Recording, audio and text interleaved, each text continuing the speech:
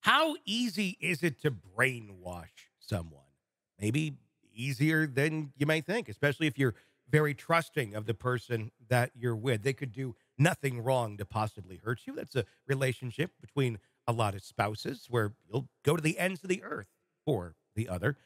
When it comes to Ruby Franke and her husband, Kevin Franke, is that what was going on? Was Kevin just following along, doing anything that he possibly could do to please his wife, to get his family back together? That's the argument that Kevin is making through his attorney right now, saying, I was brainwashed. I had no idea any of this was going on. And maybe he didn't. I don't know. But uh, to go to that extent, what's your thoughts on this, Shavaun Scott? Yeah, um, I sure don't think brainwashed is the right word. Is that possible? Perhaps in in a situation where someone's been taken hostage and you've got the Stockholm syndrome going, you know, where they're under threat of death and uh, they're indoctrinated over and over and over, you know, or in some kinds of cults like um, the People's Temple cult, where everybody committed suicide at the you know, Mhm. direction. That sounds like brainwashing. What Kevin Franke experienced, I think, is more, uh, he's incredibly passive Mhm. and he let Ruby make all the big decisions regarding the kids. And uh, that's more of a personality flaw on Mhm. his part. And I think the brainwashing is a very weak excuse. I wouldn't buy that for a second. Almost more like a toxic codependency, I, I would Yeah, say, when it yeah, comes to yeah. looking at the dynamics of that relationship. That being said, uh, take brainwashing out of it. Uh, does uh, he bear any responsibility in this whole situation if, in fact, he had no idea that the kids were being abused? Maybe in his mind, he thought, uh, you know, she's out there with Jodi. What could go wrong? They're going to be fine. Maybe he was shocked by just how Yeah. horrible uh, things were. But again, he is one of the parents. It he could step in at any time and say, "Hey, I want to see my kids." There's no order Yeah. saying he couldn't go check on them, but he chose to to stay behind at the direction of Jodi. Does that uh, does that bear any responsibility on his part? Then It sure does morally, you Mhm. know, morally and and from a, you know, clinical situation of what is good for kids and having an attachment with their dad as well as their mom. Um, it's a moral failing, a Mhm. deep moral failing. Is there legal grounds to hold him accountable? Probably not, because he was not present. He very well may not have known the extent of how crazy things had gotten but he had to know because he did live with her for so many years that Ruby had problems. I mean, we would like to think that there would be some kind of awareness of Yeah. this. And so, again, we don't know enough about his inner workings of his mind, what made him so passive. But I see it more as somebody who was just very comfortable giving up his power and giving up his control. And that led to some real failures as a parent and hurt these kids. let's talk about that a little bit because uh, Ruby obviously got some uh, got some internet fame uh, out of her eight passengers YouTube channel, uh, and uh, also uh, so did uh, uh, her co-conspirator here. Um, that was also involved, Jodi Hildebrandt, uh, and, and the term that was used, and I know Jodi was a licensed therapist, but the term that was also used from Ruby was life coach, Yeah. um, and that's a term that I, I, I think a lot of people are having uh, issue with, and I know that's something that uh, that uh, Kevin is trying to get behind and say we need to change something about this. Um, life coach doesn't really mean anything. Uh, there there is no clinical definition. This is just kind of uh, somebody who wants to be a therapist who didn't take the education to do it and likes to talk to people. I'm sure there's there's some that are nice, that are good, that probably Some are do, nice. do have Mhm. you know some some value, but a, a lot of them not not so much. Especially if you're you're going into wanting to get uh, get true help. Let's talk about that a little bit because that is a huge industry. How toxic is that industry, and how many other Jodi Hildebrandts are out there doing exactly this sort of thing? Maybe not abusing kids, but the psychological damage that they're able to inflict behind the title of life coach. That's a scary thing. yes.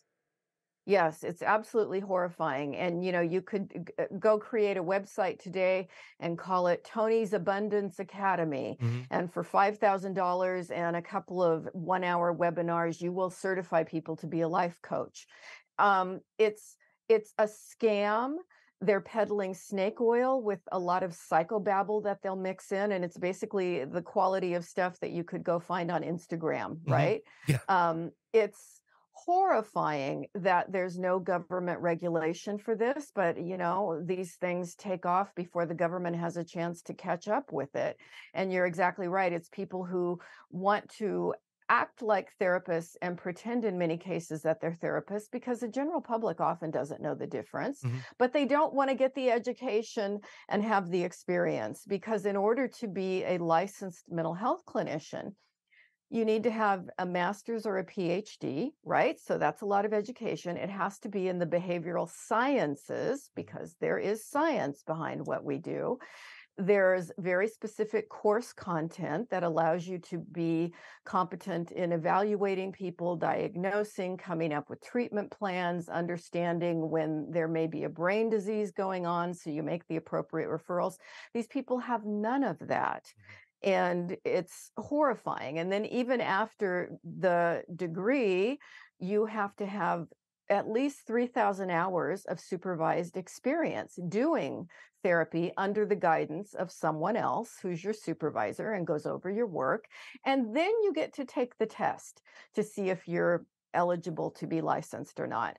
Some states, I used to be an oral examiner for the state of California, you would sit down with a panel and they would give you right off the cuff a vignette of a case and you would have to develop a treatment plan Mhm. right there you had like 7 minutes to diagnose and do a treatment plan so some states are very rigorous other states are less rigorous some states will crack down very quickly um, on a licensed therapist because it's a regulatory board that we have to be under their supervision forever as long as we're licensed.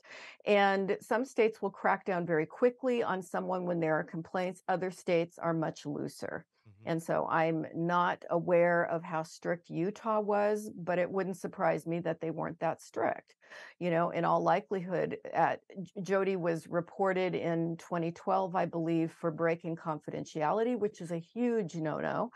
Mm-hmm. And it is very likely that in certain areas she would have just lost her license then instead of, you know, she had a temporary stay on her license and had to go through some more ethics training and then got her license cleared again. But the other thing that happens that's so insidious with this, there are therapists who are deceptive and they've gotten in some kind of trouble because uh, you know they're i- integrating tarot cards or something that's considered okay this is not behavioral science and I do see that happening. And so then they'll have this other thing they do on the side. Well, I'm a therapist when I do this, but over here I'm a life coach and they're blending those things but then this is the scam. They say well because i'm a life coach i can do my channeling of dead spirits or i can do my tarot card readings or whatever. And we had a case here locally where somebody was saying they were a medium and uh, incorporating this as part of their therapy work and i'm sorry that's not behavioral science. And in the state of Oregon, where I live right now, those um, we are required when we see somebody doing something unethical, we have to report it to the licensing board. Mhm. And so that person has been reported to the licensing board, and hopefully they will take action on that because that's that's simply not okay. I mean, it doesn't mean people can't be a medium or read tarot cards, but don't do it under Sure. the guise of that this is psychotherapy because we have to have rigorous standards. It's just super important. It's there to protect the public. Mhm. And I would like to see the standards, you know, nationally very rigorous. And maybe we have to retest every 10 years or something like that, even every five years. I would sign up for that, Mhm. you know, because not all therapists are equally competent, not all are equally intelligent. And we just want to make sure that, first of all, we're doing no harm, but we want to do good in the world, right? That's the whole purpose of the profession. And the, the thing is, it, it, it, it, are you seeing that, you know, younger people getting into this? Everything you just described, it's rigorous. It is very really rigorous rigorous. to get to where you want to go. Many, many years, many, many hours of work Yeah. to get there. When they see the opening, they see, well, so and so became a life coach. They got certified here. And my God, they're making just as much as someone Yeah. who They make more. all of that. Yeah. Yeah. Yeah. I mean, that, yeah, well, the ones that are good scammers make more. Sure. They're not all good scammers. Some of them pay the money and and within 3 months they've figured out Yeah. okay, this is this is not real. But but I knew one that was making huge money in California and he was channeling angels, life coach. And he would convince people for some ungodly like 500 bucks a visit that he angel Gabriel was giving them messages through him. And the guy was raking in the dough Yeah. but he was a psychopath, you know, and Yeah. he was just an expert at scamming, you know, desperate people. So I think it's really insidious. And, uh, you know, this is one thing that I talk about a lot is people. People are desperate. They want answers. They want a quick fix. And uh, you have to be really careful when you're in that vulnerable state because there are scammers that will completely take advantage of you. But you're right. I have had clients who were life coaches that were lovely people and they really wanted to help, but they didn't want to get the education and put the time and the hours in. Mhm. And you're also right, young people are not going into this profession. You know, what did my kids go into? Technology, Mhm. Right? And they're making four times the amount of income Yeah. I have and they're done with work at 5 p.m. Whereas if you're a psychotherapist, you're on the clock, you Yeah. know, all the time. And some people, eh, you know, if they have a crisis in the middle of the night, our number one thing is prevent suicide, Sure. prevent people from hurting other people. And so we tend to be very diligent about we're there all the time. I remember my hun- honeymoon 18 years ago. I had my pager with me and I had to take a call.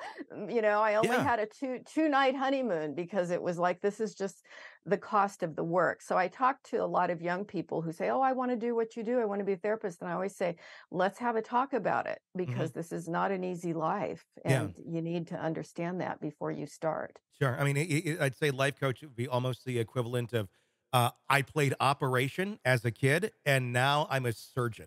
Uh, Yeah. it's it's kind of along those lines.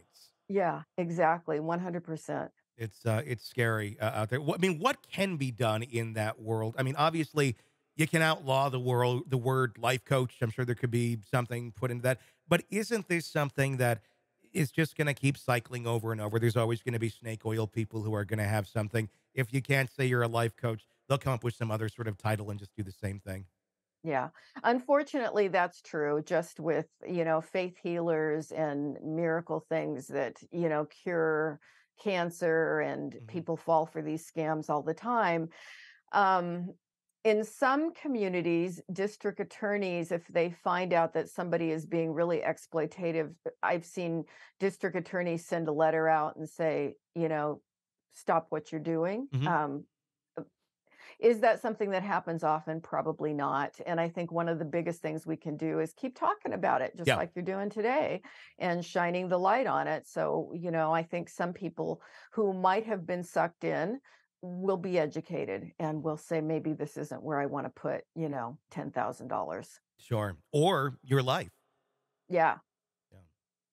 Hey, it's Tony Brueski. If you want more of our interview with our guests, be sure to check out our podcast, Hidden Killers with Tony Brueski. Just search that wherever you download podcasts and press subscribe. Also, you can check out our YouTube channel for the full video version of the interviews as well, under the same name, Hidden Killers with Tony Brueski. Check it out, subscribe, binge, and enjoy. Thanks for watching.